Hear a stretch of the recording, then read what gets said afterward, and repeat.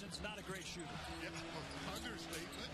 But he'll make them against the Rockets. Yeah, he just made a three a moment ago. Harden now working on Rondo again. So far, Rondo's done a good job on him.